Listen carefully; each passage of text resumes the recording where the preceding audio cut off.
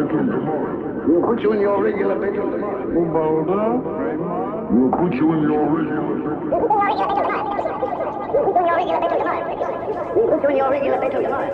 We'll put you in your regular bedroom tomorrow. You see, you see, you